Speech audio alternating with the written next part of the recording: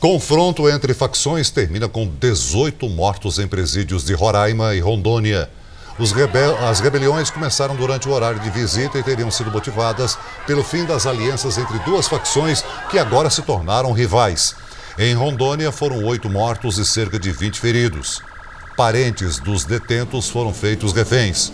No maior presídio de Roraima já são 10 mortes e há presos desaparecidos. Por causa da crueldade, os peritos tiveram dificuldade para identificar os corpos.